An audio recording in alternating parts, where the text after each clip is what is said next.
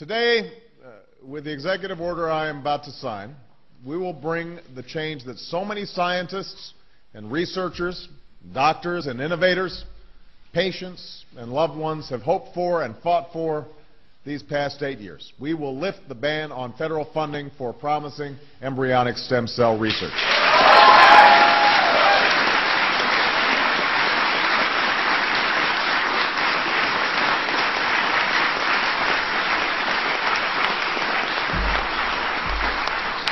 We will also vigorously support scientists who pursue this research.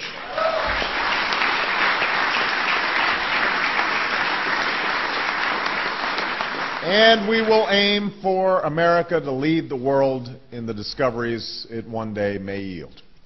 You know, at this moment, uh, the full promise of stem cell research remains unknown, and it should not be overstated.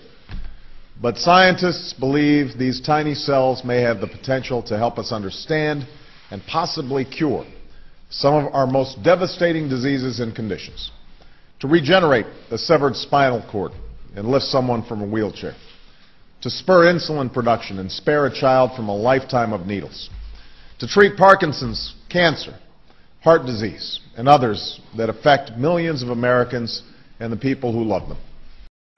Today, with the executive order I am about to sign, we will bring the change that so many scientists and researchers, doctors and innovators, patients and loved ones have hoped for and fought for these past eight years. We will lift the ban on federal funding for promising embryonic stem cell research.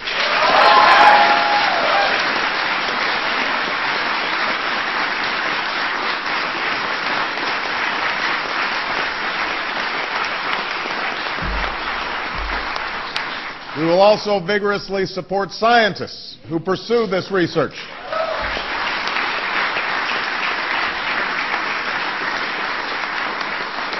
And we will aim for America to lead the world in the discoveries it one day may yield. You know, at this moment, uh, the full promise of stem cell research remains unknown, and it should not be overstated.